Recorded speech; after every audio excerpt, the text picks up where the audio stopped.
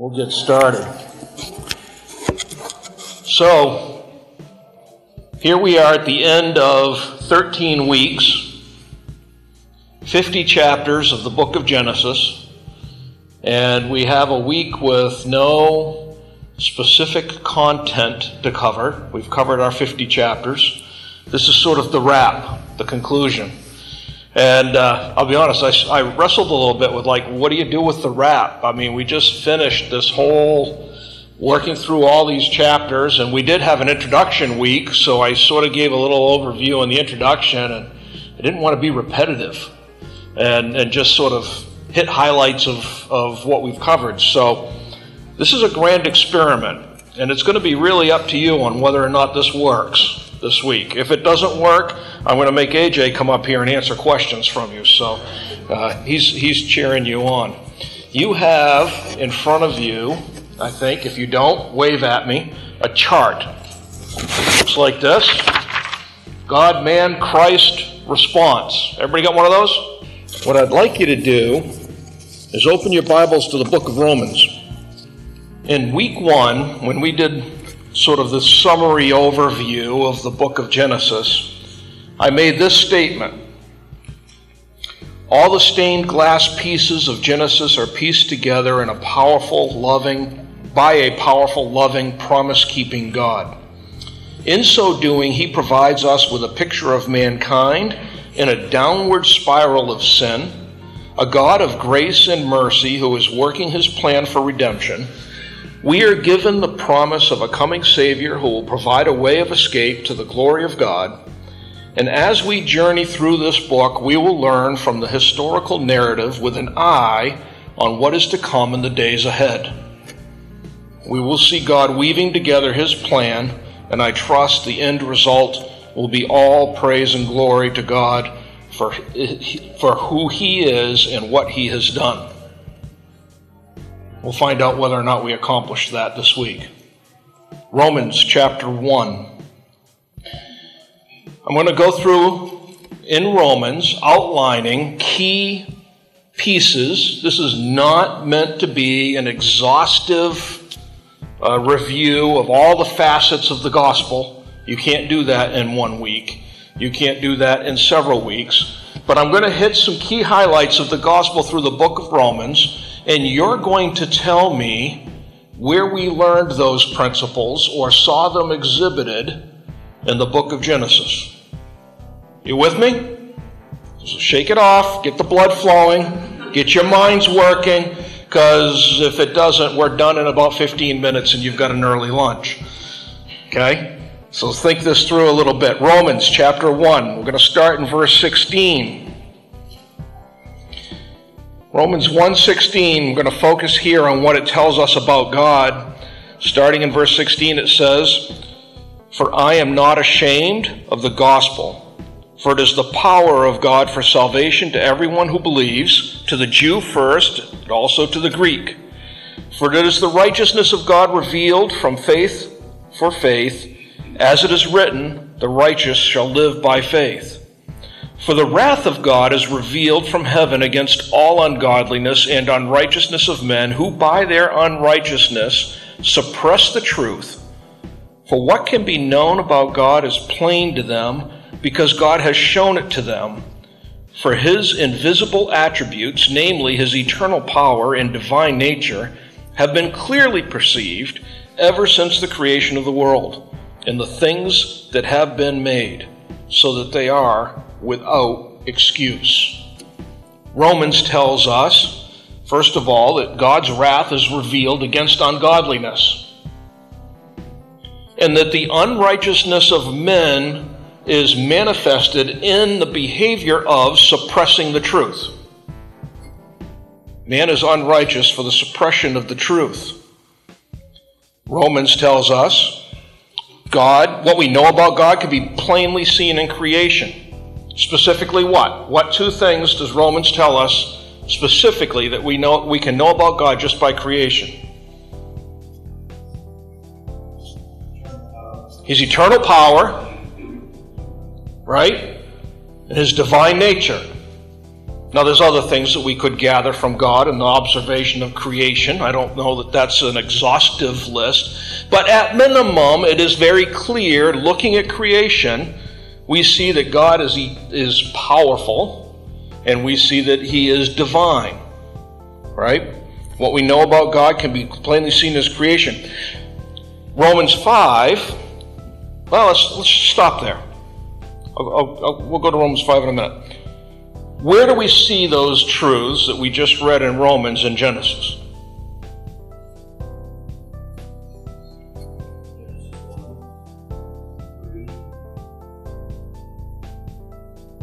Yeah, most right. All certainly all of Genesis one and two, the, the whole creative act, right?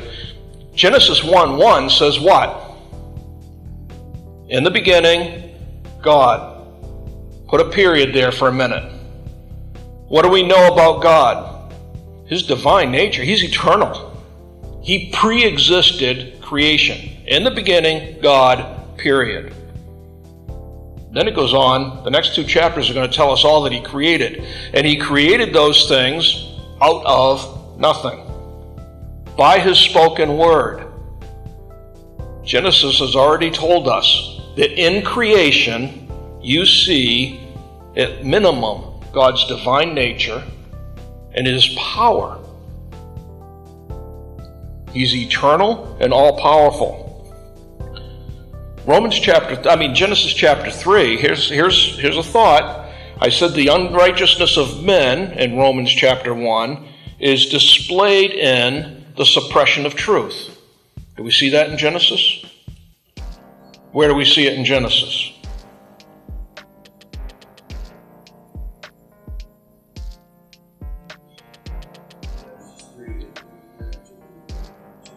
Yeah, at minimum, Genesis 3, the serpent is twisting God's truth. Adam and Eve make decisions on the basis of not accepting or acknowledging God's truth. We'll get to that more when we talk specifically about man, right? So if you're filling in anything on your chart there, you can start putting down some of these truths about God and give the Romans reference if you want. Remind yourselves of what the Genesis references are that go with go with that. Any other thoughts? Nice and loud. The flood account, and what's that going to show?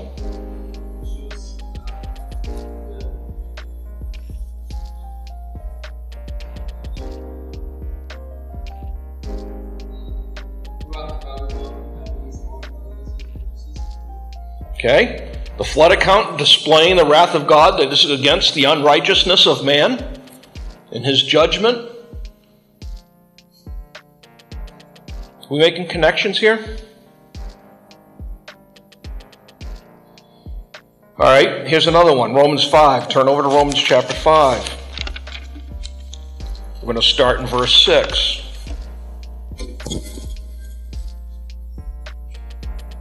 Romans 5 6 says, for while we were still weak, at the right time Christ died for the ungodly. For one will scarcely die for a righteous person, though perhaps for a good person one would dare even to die. But God shows his love for us in that while we were still sinners, Christ died for us. Romans 5 6 through 8. What does that tell us about God? Who initiates the relationship between God and man? In Romans 5? God does. In His love for us, while we were sinners, while we were not worthy, while we were not seeking Him, while we had nothing to do with Him and didn't have a thought of Him, He loved us enough to die for us. Where do we see God initiating the relationship in Genesis? Do we see the God of initiative in Genesis? Well, he created Adam and Eve. Okay, so there's the obvious. Where else do we see God initiating? Pardon? Abraham. God spoke to Abraham. God spoke to Isaac. God spoke to Jacob. Over and over. God comes to Noah. Here's what's coming, Noah. Get ready. Over and over, you see God initiating engagement with men. What was the big problem with the Tower of Babel? Man was building their way to heaven. What was it in Jacob's dream? God set his ladder, his staircase on earth. He initiated the relationship with man. Right? We get it backwards sometimes. All through Genesis, we see that God is a God that initiates his relationship with human beings. And it helps us understand the gospel when we get to Romans and we start understanding that God, while we were sinners, died for us. God made promises to Jacob when Jacob was still referring to him as his father's God. Before Jacob had gone through the whole transition that we had talked about before, God initiates those things. Um, he initiated dealing with Cain and the sin. He initiated dealing with Adam and Eve after their sin. He's the one that comes walking in the garden seeking them. He's the one that comes down to Cain and asks the question, Where's your brother? God didn't, did, he knew where his brother was. Later on, he says, The blood of your brother's crying out from the ground. Right? He, he knew where his brother was, but he, he's asking the question. He's the one that initiated that. Turn over to look over in Romans 5. Let's look in verse 15. Romans 5 and verse 15. Again, my verse numbers are too small for my eyes. Here we go. But the free gift is not like the trespass. For if many died through one man's trespass, much more have the grace of God and the free gift by the grace of that one man, Jesus Christ, abounded for many. And the free gift is not like the result of that one man's sin. For the judgment following one trespass brought condemnation, but the free gift following many trespasses brought justification. For if, because of one man's trespass, death reigned through that one man, much more will those who receive the abundance of grace and the free gift of righteousness reign in the life through that one man, Jesus Christ. God is a covenant making, promise keeping God. He initiated that promise that through one man we would have redemption. And all we need to do to receive that free gift is turn to Him. Do we see God selecting and initiating covenantal promises in the book of Genesis? Where do we see it?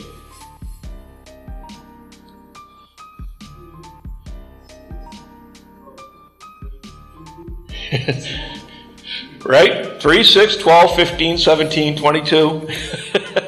right? Over and over again in Genesis, what do we learn about our God? That He initiates making covenants with men of His choosing as the sovereign God, many times where it is simply His delivering. Oftentimes, mankind, when he makes a covenant with God, how does he do it? God, if you do this, then I'll do that. Right? You don't have to look further than Jacob. He did that. Remember on his journey? If you bless me on my way, then you'll be my God. Right? That, that's the way man makes covenant promises, not God. Abraham, go, I will make you. And, it, and he places it on him to execute. The same is true in our salvation. Christ does all the work. It's a free gift that is given to us if we simply turn to Him. God is a covenant making, promise keeping God. All right, let's look over um, Romans 3. Let's flip back to Romans chapter 3. I'll give you one more here under this category of God. Romans chapter 3. And look in verse 19. 319 says this Now we know that whatever the law says, it speaks to those who are under the law, so that every mouth may be stopped, and the whole world may be held accountable to God. God, as sovereign creator, has the authority to give commands and hold men accountable. Romans tells us. Do we see that in Genesis? Where do we see it in Genesis?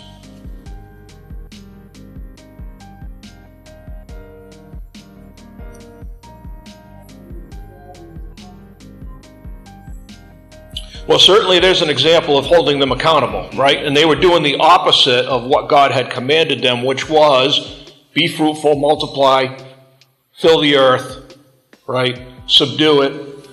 God created all of it, and as soon as He put Adam and Eve in the garden, He gives them a command: Don't eat of the tree of fruit and life.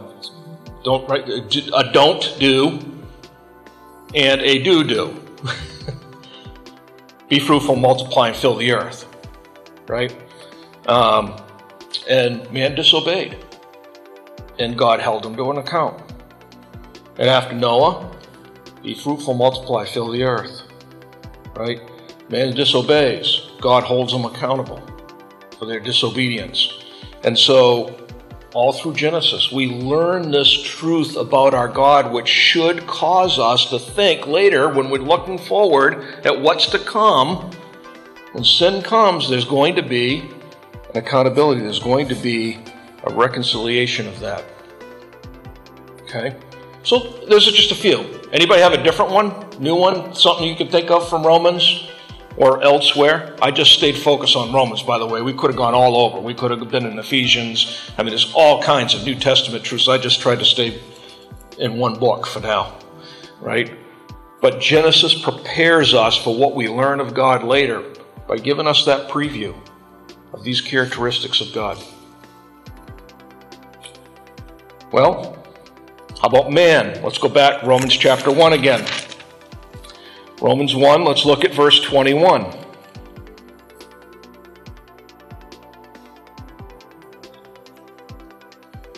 Right after, without, so they are without excuse. although they knew God, they did not honor him as God or give thanks to him, but they came futile in their thinking, and their foolish hearts were darkened.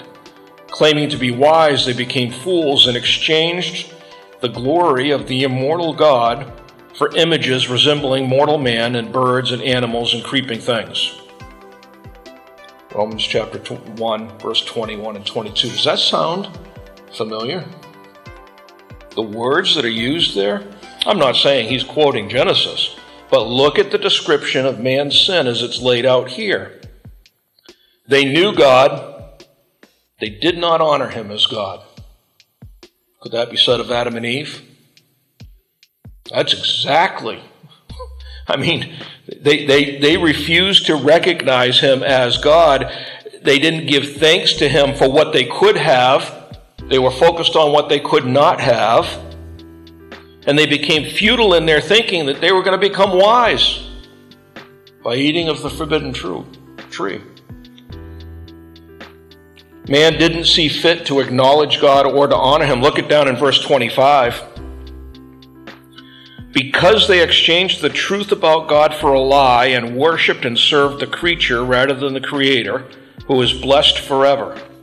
Sounded all like Adam and Eve? You say, well, what creature? Themselves. They're still a create creature.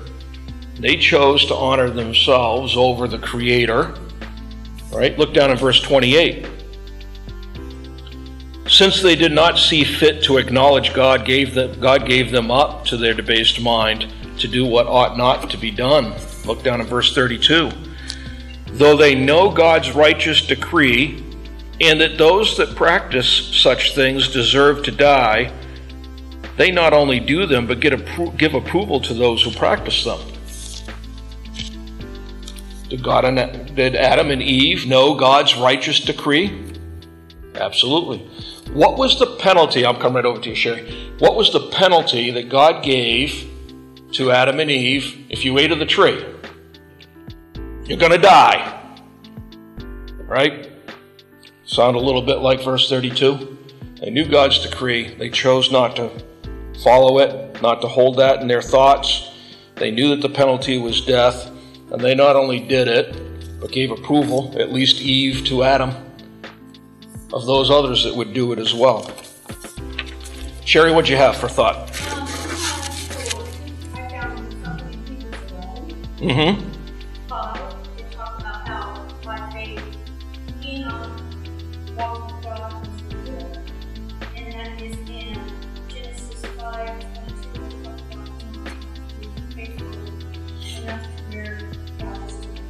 Right. Yeah, that's good. Enoch in both uh, Hebrews and in Genesis, uh, you, you have the truths that uh, God took him. A righteous man, right? Comparison, a righteous man. All right, look in Romans chapter 132, right? They, oh, I already hit this. Uh, they, they knew the decree, they disobeyed, they encourage others to do so as well. Look in Romans 5. Romans 5, verse 12. Now, here is obviously a direct comparison. We don't have to think too hard about this, right? Romans 5, verse 12. Therefore, just as sin came into the world through one man and death through sin, and so death spread to all men because all sinned.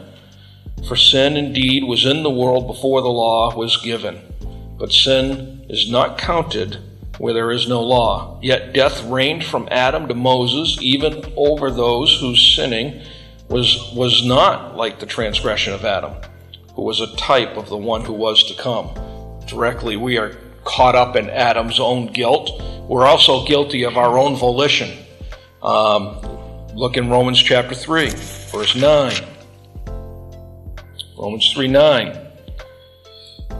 What then? Are we Jews any better off? No, not at all. For we have already charged that all, both Jews and Greeks, are under sin. As it is written, None is righteous, no, not one. No one understands, no one seeks for God. All have turned aside, together they have become worthless. No one does good, not even one. Their throat is an open grave. They use their tongues to deceive. The venom of asps is under their lips. Their mouth is full of curses and bitterness. Their feet are swift to shed blood, and their paths are ruin and misery. And the way of peace they have not known. There is no fear of God in their eyes. You see that in Genesis anywhere? Genesis 3, obviously, right? Where else? Oh, pre flood. Yeah, right before the flood, the wickedness of man was great in the earth. Right? Sodom and Gomorrah. Tower of Babel. I already talked about that, right? Over and over again, you get this, you get this, their feet are swift to shed blood, their paths are ruin and misery, they have no peace, there is no fear of God. There is no acknowledgement of who he is. And, and the result then is death. Romans 6.23, Genesis chapter 3. Right? The result is death. There's a bunch of things there that you could list under your understanding of man that we get from Genesis and we see played out throughout the New Testament and, the, and leading to and pointing to the need of the Savior. Right? So here's the problem God, sovereign creator, all powerful deity, to whom we are accountable, his wrath is stored up against the sin of man. Man continually and perpetually involved in sin, right? And then we get to the solution. Christ, look in Romans chapter 3. Familiar verses to us, but Let's think these through a little bit and think about what we've been learning in Genesis. Romans 3, verse 21. But now the righteousness of God has been manifested apart from the law, although the law and the prophets bear witness to it. I'm going to pause here for a second because one thing that I didn't bring up. You know, when we were talking about God, does God reveal himself to us? He does. I talked about the initiation part of it. He initiates the relationship with us, but we have a God that desires to be known, and He doesn't just leave it like, you know, you guys figure it out. See it's see it's a mystery. God is revealing Himself to us over and over. He does that all through Genesis. I mean, that's kind of the point of what I'm pointing out here about Him. Throughout Genesis, he's revealing his true character. Here again, we have it. Um, now the righteousness of God has been manifested, has been revealed apart from the law. God desires you to understand this. the righteousness of God through faith in Jesus Christ for all who believe, for there is no distinction. All have sinned and fallen short of the glory of God, and are justified by his grace as a gift through the redemption that is in Christ Jesus, whom God put forward as a propitiation by his blood to be received by faith. This was to show God's righteousness, because in his divine forbearance he had passed over former sins. It was to show his righteousness at the present time, so that he might be just and the justifier of the one who puts his faith in Christ. By faith in Christ, we can be justified. Where do we see that in Genesis? You can cheat a little bit and think about Hebrews. right? Abraham, by faith, was counted unto him as righteousness, justification. Right? Abraham is perfect example. And you can go through the rest of Hebrews 11 and see all the other Genesis characters and others who by faith, right? By faith in Christ they are to be justified. Um, we are saved from the penalty of sin. We're saved from enslavement to sin. And we are saved, we are reconciled to God. And that is all done by faith. Do we see that exercised in Genesis. Well, we talked about Abraham.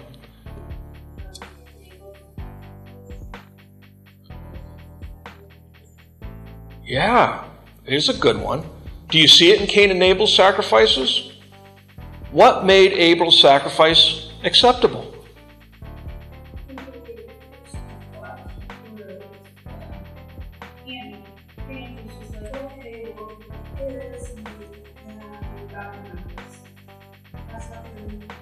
Yeah, it was Abel's sacrifice was honoring to God.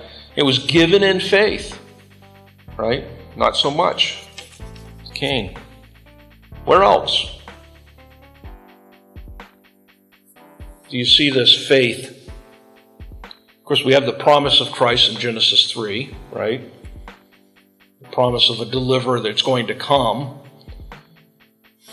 All the Old Testament by faith, you know, it would have been those who were by faith looking forward to that deliverer who was to come. I shouldn't say all, like not everybody did, but those who were, were by faith looking forward to that day that that was going to be provided.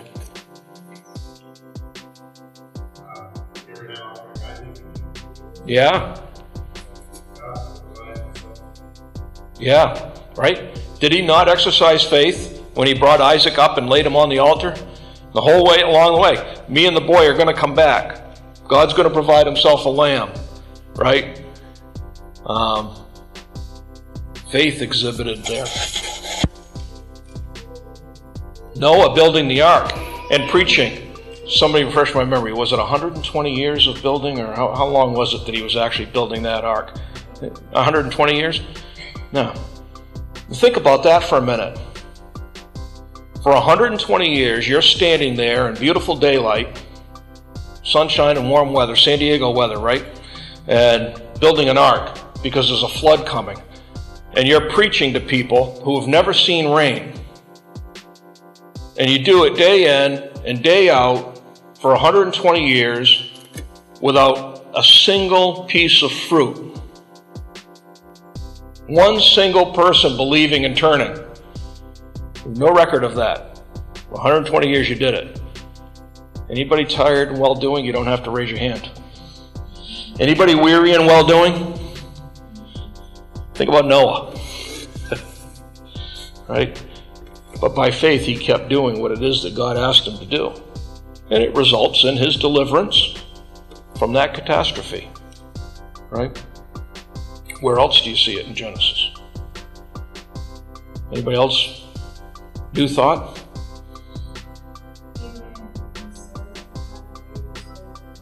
Mm-hmm.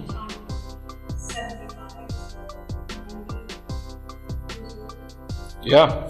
So Abraham and Sarah waiting for their child, right? Now, you might argue their faith wavered a little bit with the the whole, you know, concubine thing and things like that and trying to but They uh, still believed God. Faith grew, didn't it, for them?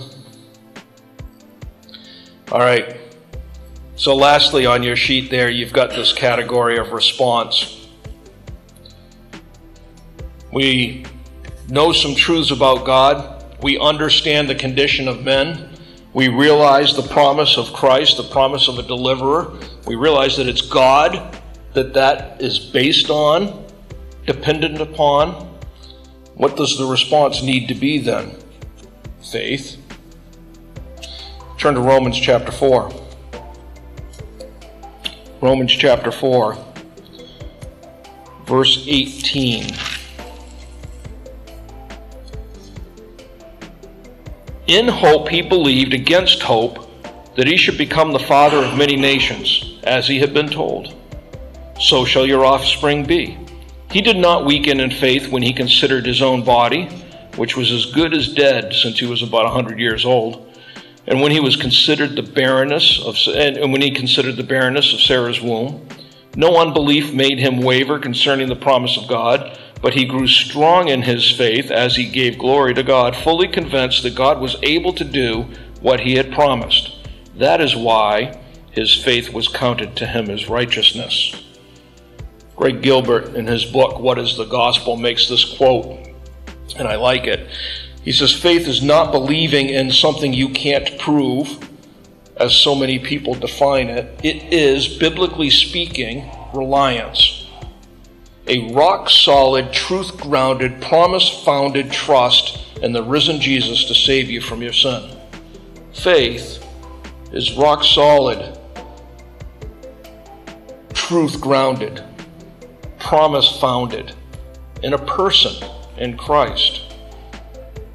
What did Abraham, what did his faith look like? He believed that God was able to do what he said he was going to do. And that is why it was counted to him as righteousness. It was a reliance, a dependence upon God's truth, God's word. We're counting on the righteousness that God provides as a result of our faith. Now, the, when we consider the gospel, I don't want to stop just with the faith, because there is another required response, and that's repentance. It's a reliance and dependence upon God, but there's also required repentance. You see that Romans chapter 2, 4, chapter 2, verse 4, 3, verses 21 to 25 that we just read a minute ago. Now, here's maybe the toughest question Where in Genesis might you see repentance? Sarah can't say. Because we were talking about this yesterday. Where in Genesis might you see repentance? at least displayed.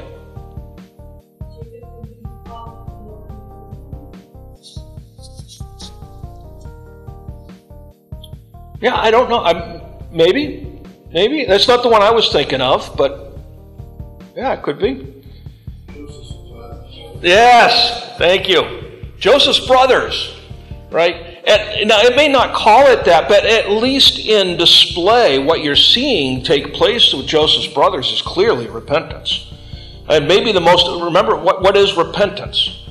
I'm heading this direction. I'm going to forsake that. I'm going to turn around and I'm heading in a completely different direction. Right? I'm giving up one thing and turning to something else. You see that most displayed with Judah, uh, or Simeon? I, I got this messed up yesterday too, Judah, right? Who says to, to when they want to send Benjamin, if anything happens to him, it's my life for his. That's not where Judah was when it came to Joseph, right? Um, so you, you have this sudden turn, and these brothers who meant ill against Joseph are now dependent upon him and respectful of him at the end when you get to Genesis chapter 44. So that whole section of 42 through 44 and the exchange of the brothers and Joseph, you're seeing what repentance looks like on display. Now, it's not necessarily repentance to God like we think about our repentance for salvation, but you see, do see it displayed.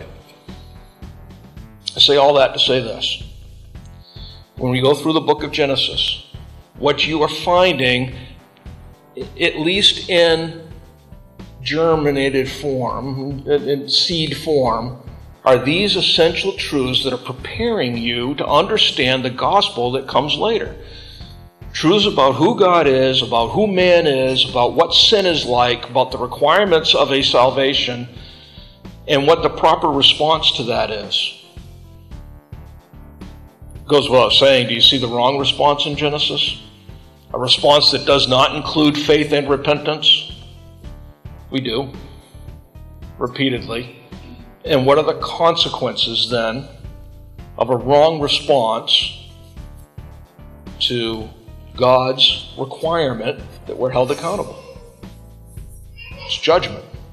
And you see it over and over and over again in Genesis.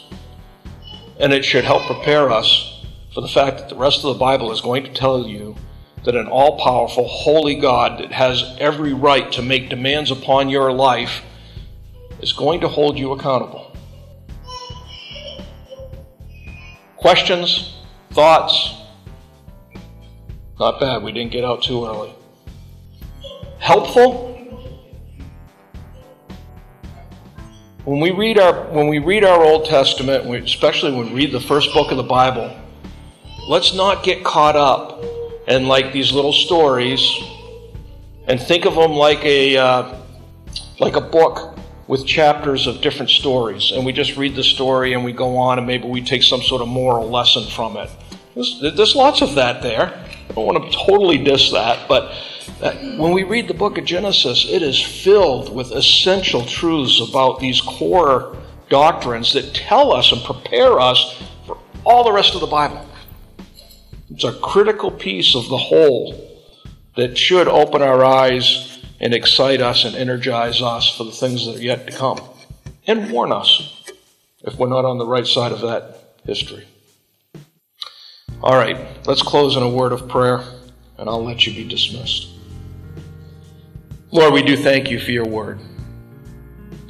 Lord, I just um, struck as I consider just the fact that an omniscient, all powerful, pre existing God seeks to initiates a relationship with sinful man. We see your long suffering and your patience as you work with mankind, and we see that when we look in the, the truths of the gospel throughout your word. So we thank you. We glorify you in your kindness to us in your love for us in your patience with us. Lord, help us, draw us to yourself, fill our hearts and minds with these truths, grow our faith as we've seen the faith of those patriarchs and others grow as, you, as they came to know you. Help us to, to fill our minds and our knowledge of who you are and what you've done, all to your honor and to your glory I pray that this time has been profitable in your word. Thank you for the truths of the, the book of Genesis. Thank you for each one that has endured the 16, 13 weeks of our lessons. Lord, I pray that this will be something that they can germinate in their minds and that your spirit can use to bring great encouragement as they talk with others and as they look at their own Christian walk with you. And we ask these things in Jesus' name.